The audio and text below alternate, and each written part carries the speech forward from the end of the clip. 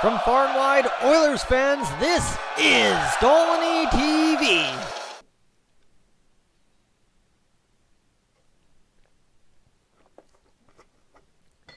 You guys know it's severe when I've got the jug, but even more severe when I've got my Edmonton Oilers jersey on for today's video, and it's as simple as this.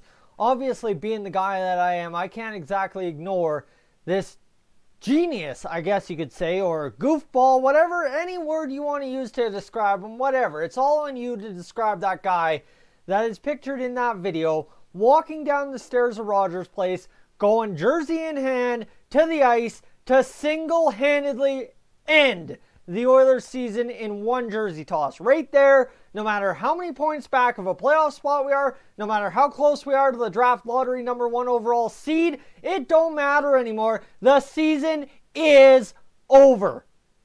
Simple as that.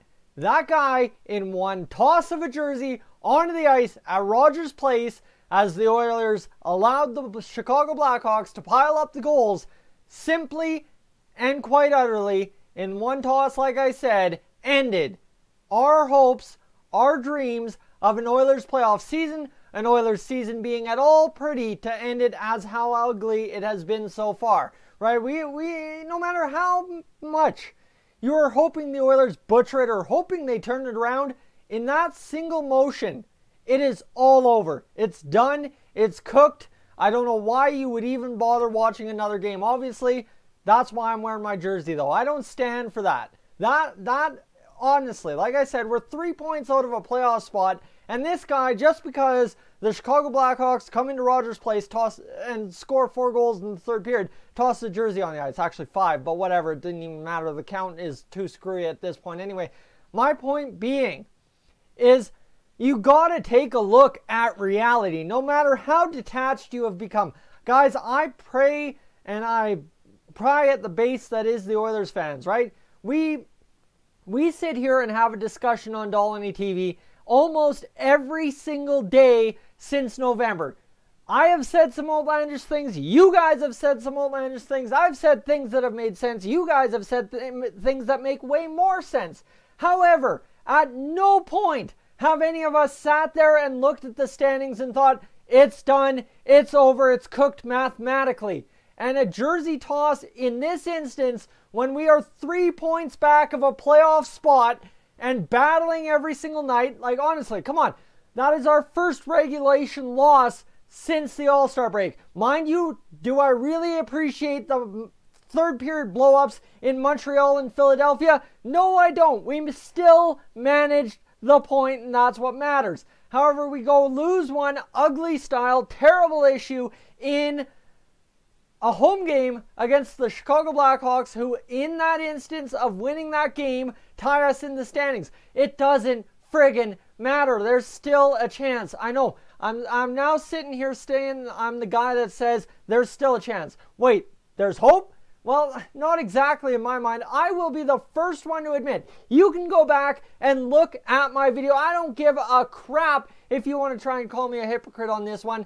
I said the playoffs are a pipe dream, goodbye, gone when we lost to the LA Kings in early January. I'm fine. I went down on record saying that. I will not delete that video. Go check it out. I outlined my reasons why I am fine being that guy. However, to be that guy, to single handedly, as the representative of the Oilers fan base, throw a jersey on the ice at a home game, I am sorry. That is that is not exactly. I'm saying he's a representative of all of us in terms of representing all of us as fans. No, what I mean is he represents all of us to the players who were on the ice, on the bench, and in the rafters when that jersey got tossed, right? The players now know it is reality for them. And unfortunately, this guy just set reality in the players' minds of what the fans are thinking. This guy represents everyone to the players, the coaching staff, the management team, the ownership. This genius, goofball, whatever you want to call him, goes out there, does that, and single handedly shows the players, coaching staff, management, and everything else season's done. You know what? We're fine with it being done. Why even try? Just End it already. Call it quits. It's good. It's goddamn done. We don't care. That's essentially what that genius went and did. And now, all of a sudden, what do we expect?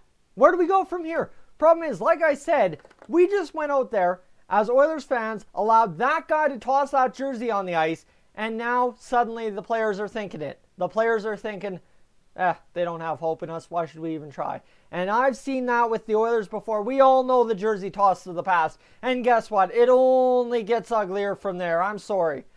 It, it, it happened. And the stupid part is it happens at, what, game 54, 55 on the calendar?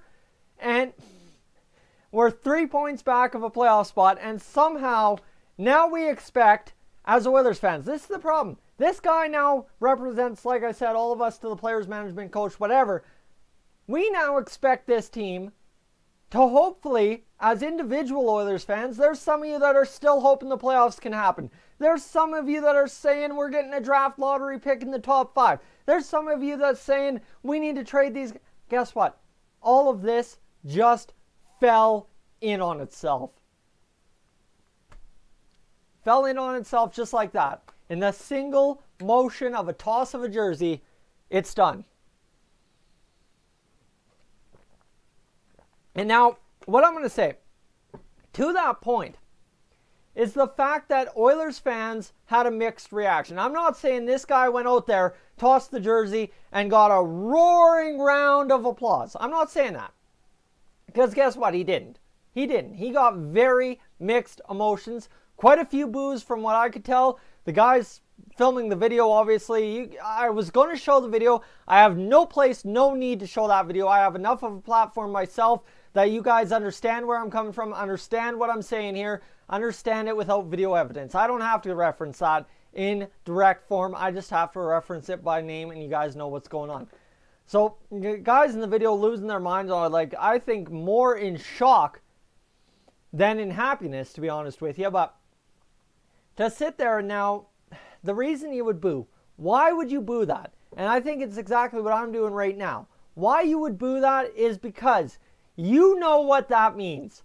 And a jersey coming out of the stands, I don't care if it's 1 or 100, it all means the exact same thing. It all means the same to the players, coach, and management. Ownership group, too. So now, here's where I draw the line as well. We have called for the firing of McLellan. Now we've got Hitchcock, and a lot of people are calling for him to be fired. Me me. Now, okay, so you've got two coaches, one on the hot seat, one already fired. You've got a general manager in Peter Chiarelli who ran himself out of town essentially with bad deal after bad deal. And now you've got fans blaming Nicholson, fans blaming Kevin Lowe somehow still, Craig MacTavish. Okay, upper management, sure. Problem is, like I said in a previous video about Daryl Katz, it all goes up to Daryl Katz. And there is only one solution here for Daryl Katz because right now, the current Oilers roster, in my mind, is not going to change.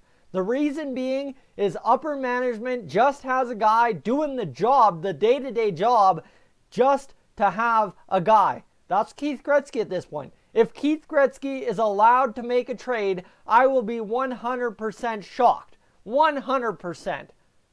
But here's the thing upper management is controlling that.